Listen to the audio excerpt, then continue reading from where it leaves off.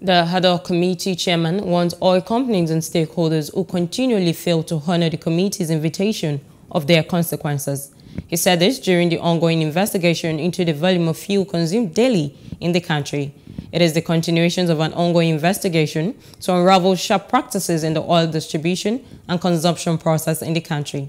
The chairman of the other committee, Honorable Abdul Qadir Sahat, says the ongoing investigation will assist the government in a fiscal policy as well as show actual amount expended on subsidy yearly. In recent times, we all uh, were all witnesses to the claims by the NNPC on the issue of under recovery because some months it turns out that they are contributing zero to the federation account on the basis that the money is being used to under recover uh, the difference, the differential between the landing cost of the petroleum products and the approved selling price.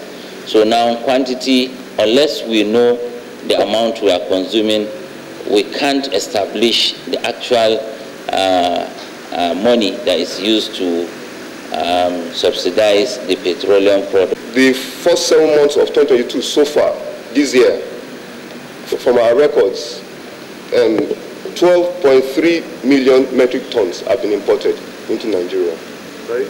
12.3 million. Oh, PMS. Yeah, PMS. For this quarter. For, for this year, se first seven months. First seven months. 12.3. 12.3. But from 2015 to to date, 202.9 million metric tons. And this is from all sources? From all sources, NM, NNPC, PPMC, and the OMTC. We need vessels allocation letters received from NNPC showing vessel approved for loading from 15, 2015 to date. Number two, we need records of PMS seized from 2015 to date with locations and particulars of the vessels. Number three, records of auction PMS, amount, quantity, particulars of auctioneers, proof of payment to the National Treasury.